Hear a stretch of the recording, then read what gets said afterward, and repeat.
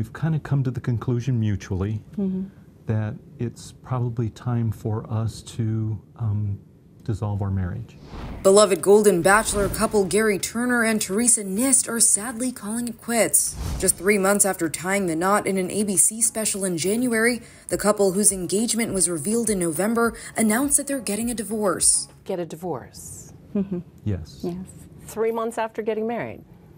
Yes. Yes.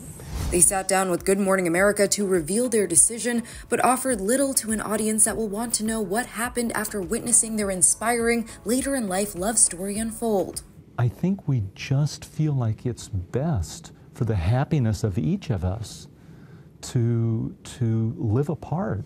ABC News interviewer Juju Chang's takeaway after the sit down was it's a head scratcher. Turner was seen as beloved to the franchise, with all of Bachelor Nation hoping for the 70 year old widow to have a second chance at love. But just one day before the pre taped and live finale aired on the After the Final Rose special, The Hollywood Reporter published a report that raised questions about Turner's past.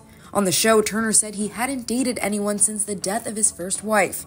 However, Turner's ex girlfriend came forward and said they dated for more than two years. When asked about the story during the post finale press, Turner brushed it off as not fitting with all of the positive things that are going on in my life right now. When speaking Friday on GMA, Nist insisted that did not play a part in their split. Gerry had already discussed that with me. He, he had explained it to me before the report was ever released.